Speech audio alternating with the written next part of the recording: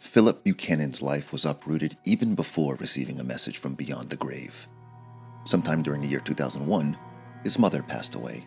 However, Philip isn't given time to grieve, as the watershed moment is overshadowed by the sudden appearance of a letter. A letter from a supposedly dead father. Desperate to uncover the truth, Philip follows his breadcrumb trail to the frozen wastes of Greenland, where a bulkhead in the snow leads him to horrors long thought forgotten. It has been months since the footfalls of men filled the airs of the northwestern mine. For the last year, the only sound to disturb the silence is the baying of the hounds, long mutated by that damned infection. But they are not alone. Two men, Tom Redwood and Dr. Roberts, have called these shafts home, have called these monsters neighbor. Let's discuss the mine before we get acquainted with these doomed souls. If the walls of the Northwestern facility could talk, they would tell a horror story.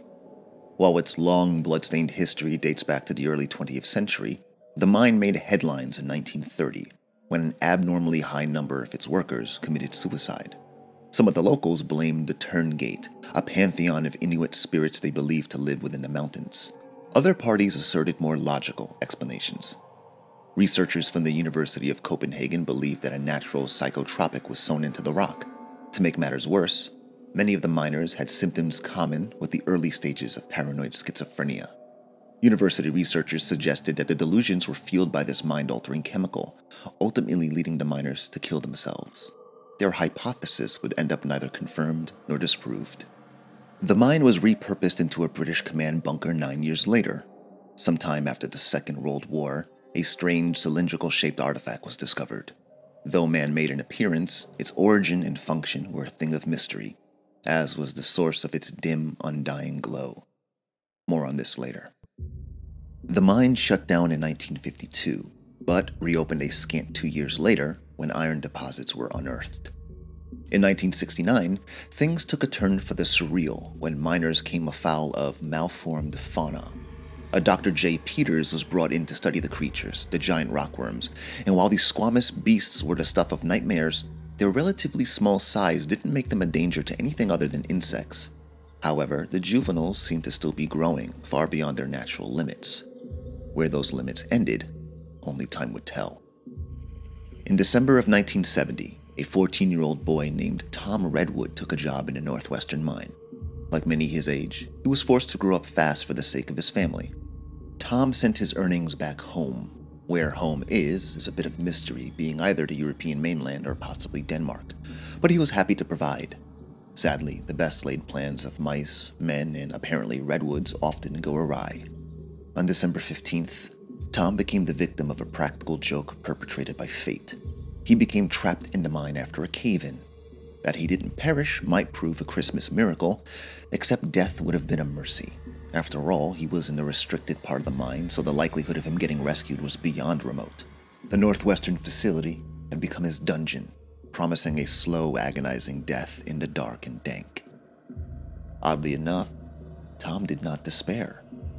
He had companions in Shakespeare, Bronte, and Nietzsche, to say nothing of the creepy crawlies which had called these tunnels home long before Tom was a twinkle in his father's eye. However, there was the issue of food. Tom supposed that he could sustain himself on the creatures, but for whatever reason thought that they would serve better as friends rather than lunch. Either way, Tom resigned himself to his fate, an inmate of the Northwestern mine, and he would not be heard from again for the next 31 years. In 1972, an accident took the lives of a number of miners, ultimately resulting with the entire operation being shut down. The mine was subsequently abandoned, but like most nightmares, it would not be easily forgotten. Whispers of its eldritch tenants found its way to the Archaic, a shadowy organization that has sought out proof of extraterrestrial life since the 16th century. The Archaic began construction on a research station in 1973. It was completed two years later. Situated atop the northwestern mine, the research station, called the Shelter, provided a living space and workstation for all of the Archaic's personnel. One notable member was Howard Lafresque, the father of Philip Buchanan, who acted as the chief translator for the Archaic. Most of everything concerning the shelter, its inhabitants, and the Archaic will be explored in the next episode, as I would like to focus on just the events of the mine for now. Over the course of the next 26 years, excavation workers from the shelter delved deeper and deeper into the mine. They uncovered artifacts of the same make as the one discovered by the British soldiers during the 40s, which they called Persona TARDIS. On December 8, 1991, a water cave was excavated. Inside, they found a strange substance, which they dubbed Substance 63. Interestingly, Substance 63 appeared to be the primary material used in the construction of the Persona TARDIS artifacts. The excavation team made another triumphant find on January 6, 1992, when they unearthed Artifact 66B. The artifacts are some of the more nebulous parts of Penumbra's lore.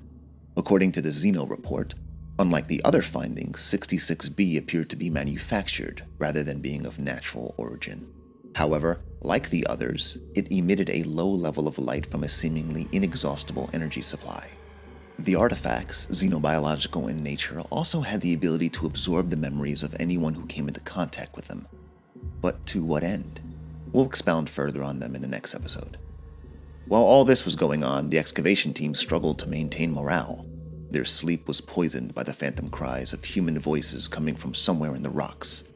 It affected their mental health, to say nothing of their physical health, which was under assault by more than just restlessness.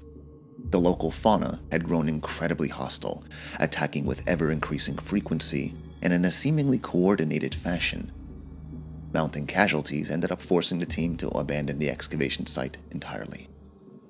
On March 3rd of the year 2000, the Archaic discovered the holy grail of xenobiology, the Tuurngait Tomb. Because this will be the primary focus of the next episode, we won't spend any time on this. All that matters is that they opened the tomb, the proverbial Pandora's box, and with that, ushered sickness and madness into their ranks. An epidemic of some sort began to spread throughout the shelter, infecting man and animal alike.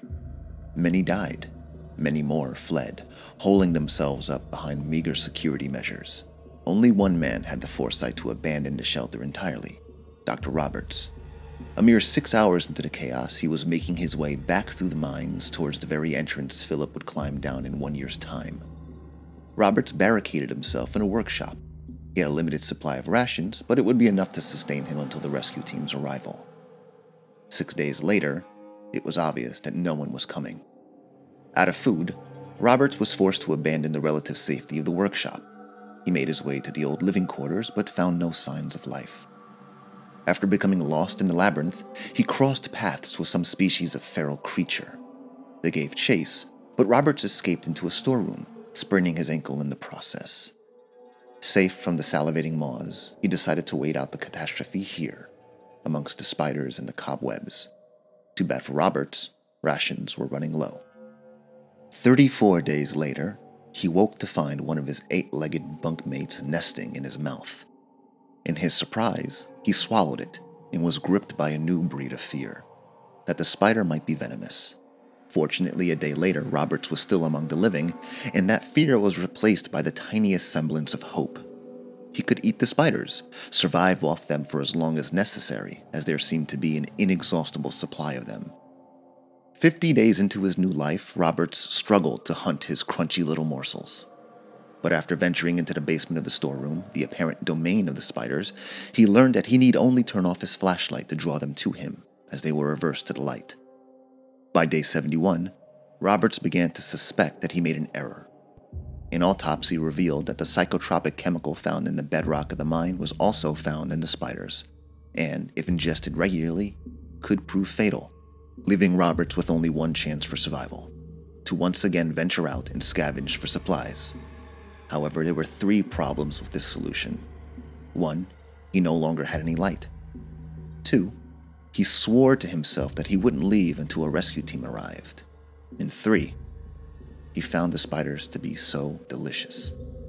By day 100, the spiders had become more aggressive, growing in size and number, possibly in response to Robert's predation. Day 200 saw the good doctor barricading the entrance to the spider's lair and securing himself in the only room with an operational door lock. To make matters worse, a viscous substance had begun to form on his tongue, likely the result of excess toxin consumption. As a result, Roberts had to surgically remove it with a rusty penknife. He also used it to mark time, as well as carve depictions of spiders on the walls and desks like prehistoric cave paintings. Day 300 brought clarity. Though the bloodshed of the shelter was a fate far worse than the one he faced, Roberts decided to return nonetheless. He wouldn't get far, though.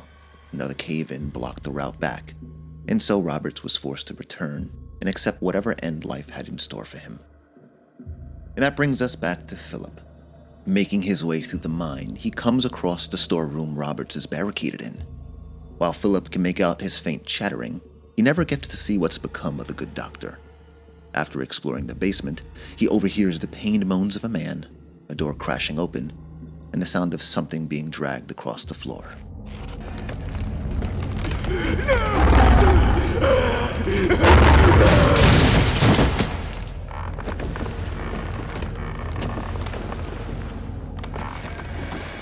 The door is open, but the room is empty, save for the grotesque appendage that Roberts cut from his mouth a lifetime ago. A blood streak leads to a hole in the wall, which in turn leads to, well, God only knows where. The doctor's part in this chapter is done. We'll learn his fate in the next episode. While exploring the mine, Philip is harried by monstrous dogs.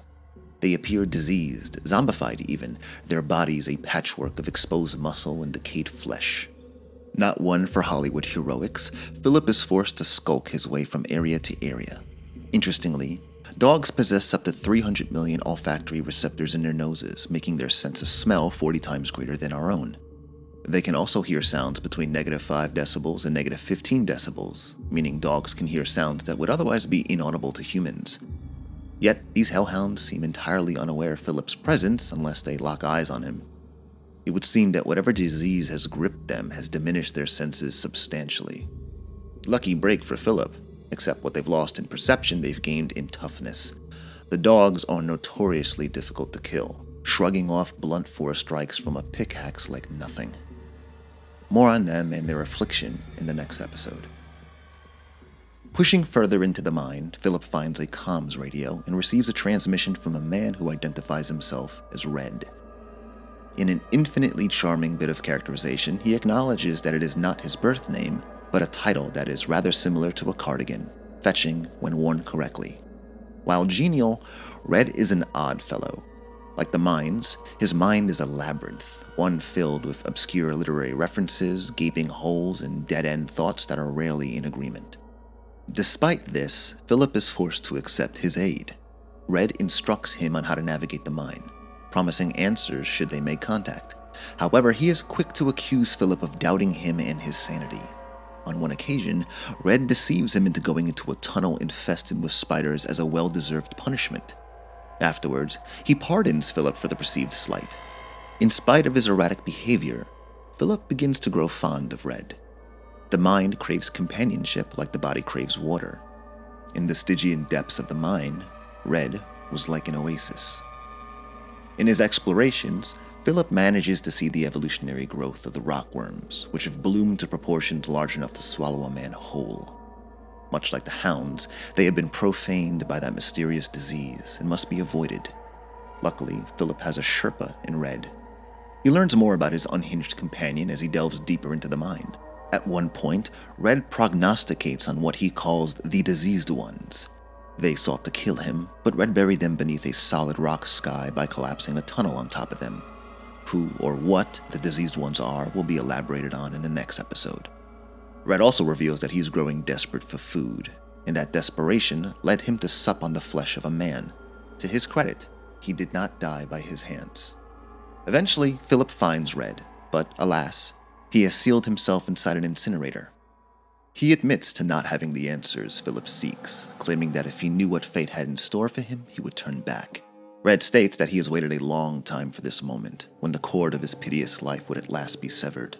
Death has been an ever present companion in the mine, but not for him.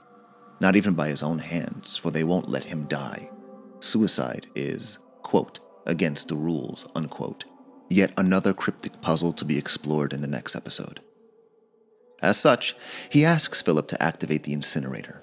Left with no other recourse, he grants Red's final wish and listens as his Virgil, his only friend in his underworld, is reduced to cinders.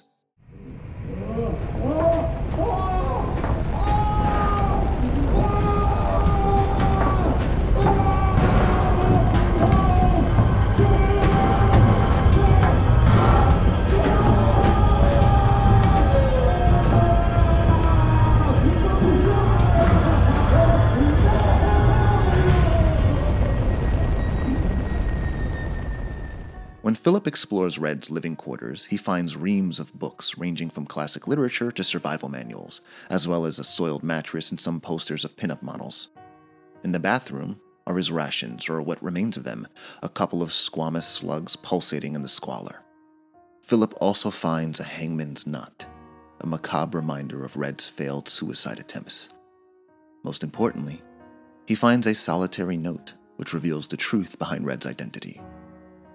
Red once went by the name Tom Redwood, but the delirium of loneliness and isolation caused his mind to deteriorate. Now, all that remains of him are the echoes of his screams resounding in Philip's head. It fills him with anguish, but he takes solace in the knowledge that the pain he caused him was, itself, all the help he could have offered. There's more to this story, but it'll have to wait. The shelter beckons. With the doors unsealed, Philip pushes headlong into the mouth of a subterranean facility. Red had urged against peering into the darkness, but closure can be seductive, especially where blood is involved. His father is still missing after all, and Philip is compelled to see how he fits into this profane puzzle. A real shame. Curiosity is like an abscess in the back of one's mouth. We prod at it with our tongues, reeling at an ache that would otherwise be tolerable until the ache sears and screams and we have no one to blame but ourselves. Perhaps Philip should take a page from Dr. Roberts' playbook and just cut it off entirely. Metaphorically speaking, but he can't. At least Red has found his peace. For Philip, the nightmare has only just begun.